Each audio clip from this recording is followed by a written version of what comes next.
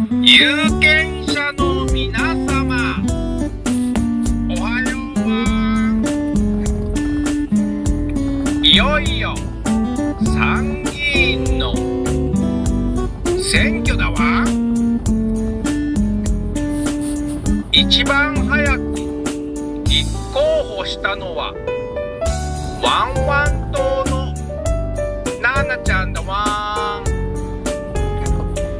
平和と暮らしに希望が持てる社会にしたいわ。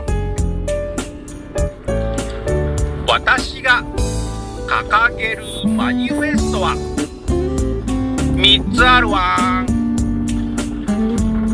1つ目は動物病院の医療費を下げるわ。2つ目はカリカリ食べ放題だわ。3つ目はドッグランを増やしてたくさん遊ぶわ。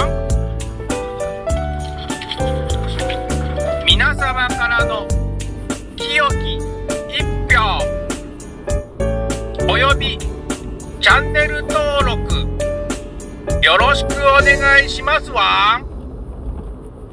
ワンワン。